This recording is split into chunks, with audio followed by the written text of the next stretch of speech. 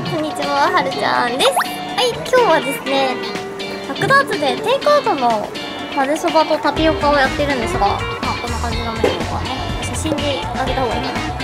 やっているのですが、今日はなんと予約でしかちょっと対応できないんですけど、予約で10玉、片手だからできないので、10玉のご予約がありました。ありがとうございます。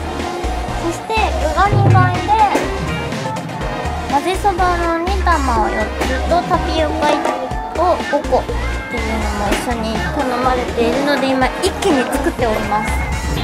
卵の卵だけで今こんな感じ。10玉なんですけど器がないので買ってきていただければ持ってきていただければっていうふうにお伝えしたところですね。これに入れてくださいと持ってきていただきました。ちなみに丼がですね丼と比較しようか。3玉の丼なのここにある3玉の丼がこちら。3玉でこれですよ。1玉じゃないからちょっと入れてみます。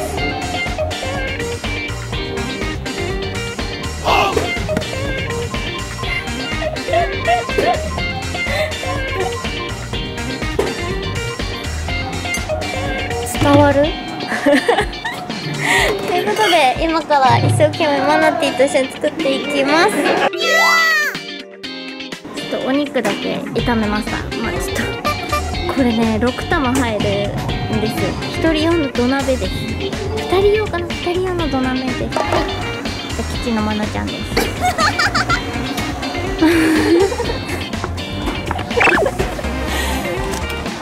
今麺に味を絡めがすごいね。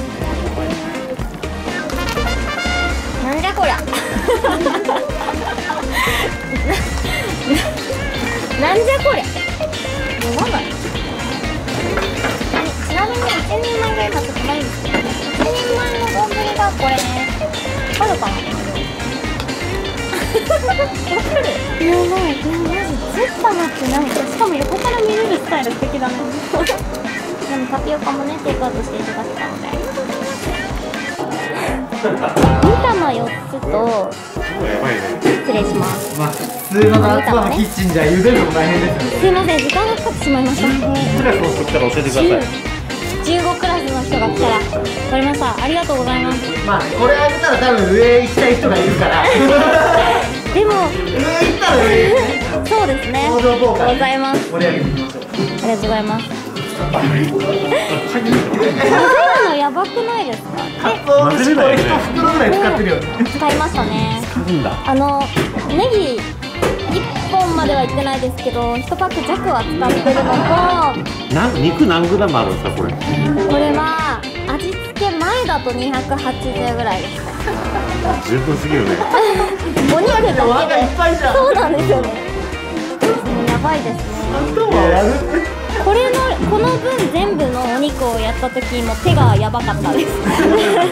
楽しかったです。ありがとうございます。だから次も同じだと持ってきても20人前ぐらいはいけるよいけますね。これ余裕でしたね正直ね。もっといけないかと思ってたんです。よそうですね。30、30目指してねちょっとこんあな大きいタッパー持ってきちゃってさ。来る前になってきたらこんなこれ欲しいよねとちなみにこれ洗うのすらギリギリでしたサイズがシンクが。でっけえって言ってありがとうございます今ちょっとタピオカ5個もう袋に入れますのでありがとうございます。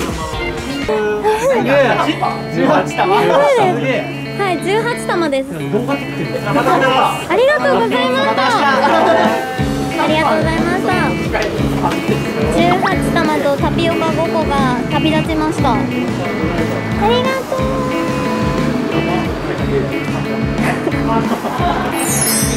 やべえ。何人で食べるんだろう。果たして。混ぜパだね混ぜパ